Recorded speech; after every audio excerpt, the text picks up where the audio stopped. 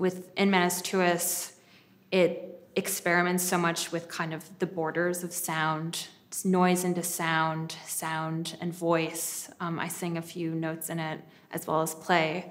And um, I thought that playing in this very generous and um, really unusual acoustic was a great opportunity for me to um, get to play this piece in a different way than maybe I would play it if I was in a you know a smaller living room or even in a larger concert hall.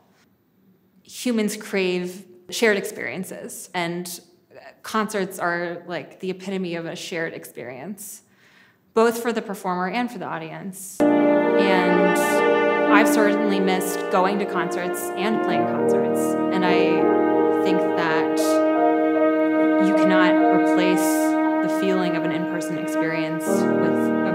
one. It just, it's a different genre.